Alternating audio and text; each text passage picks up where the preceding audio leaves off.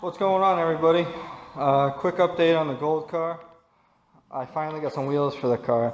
The wheels that are on it are just, uh, were just to get it going and driving. I wanted to work some of the bugs out of it. But I finally got my wheels. Um, the rears are 15 by 10 champions. Let's see here.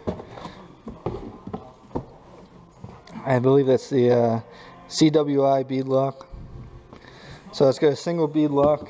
Um, I'm running 275, 60, 15, um, Mickey Thompson, ET Street Radial Pros.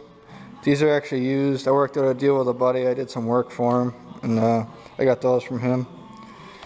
The fronts are Weld AlumaStar 2.0s. Um, you know, it's the popular wheel that everybody's running right now.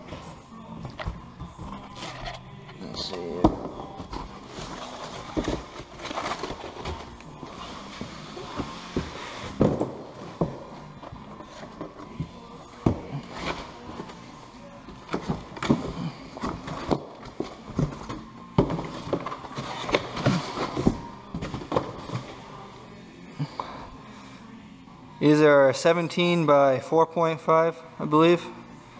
Um, and I think it's a 2.25 back spacing. I don't know that for sure. I'd have to look it up again. And uh, got my front runner tires here. Race Masters 185, 55, 17. Um, I cannot mount the fronts because I don't have a tire machine, but the rears apparently I can do. So I've never uh, I've never mounted a beadlock tire before, but supposedly it's not that hard. We'll find out, I guess. But I'm to throw these in my truck now, bring them to get mounted, and then I'll be back to try and mount these rears with the beadlock.